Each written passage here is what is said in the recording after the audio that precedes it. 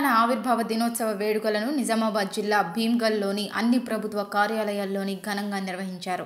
మువ్వన్నేల జెండాను ఎగరవేసి జాతీయ గీతాన్ని ఆలపించారు.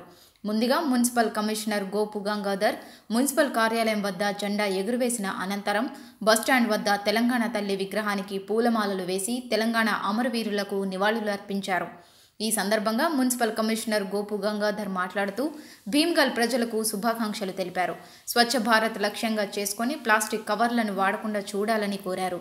ఇటు తహసీల్దార్ కార్యాలయంలో తహసీల్దార్ తారాసింగ్ మండల ప్రజా పరిషత్తులో ఎంపీపీ కొండా గోదావరి ఎంపీడీఓ లింగం నాయక్ త్రివర్ణ పతాకాన్ని ఎగురవేసి తెలంగాణ అమరవీరులకు జోహర్లు అర్పించారు. జై తెలంగాణ అంటూ నినాదాలు చేశారు. ఈ కార్యక్రమంలో అన్ని శాఖల సిబ్బంది పాల్గొన్నారు.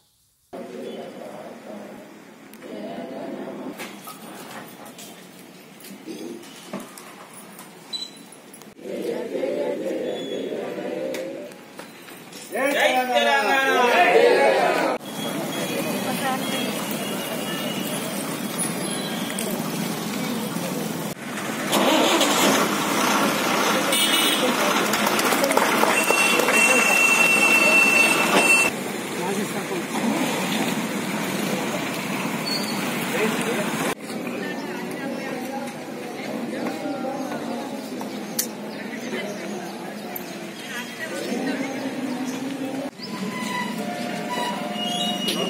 Che